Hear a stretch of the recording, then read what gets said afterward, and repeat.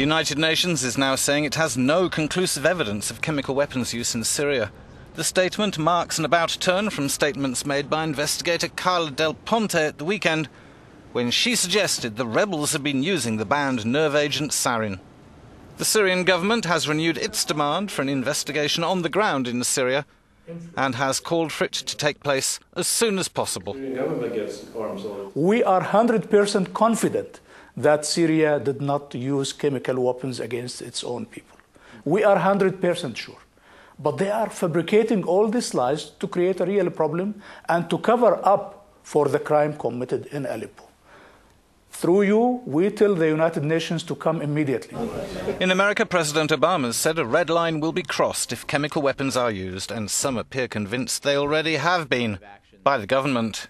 Uh, we find it highly likely, likely that chemical weapons, uh, if they were in fact used in Syria, and there is certainly evidence that they were, uh, that uh, the Assad regime was responsible.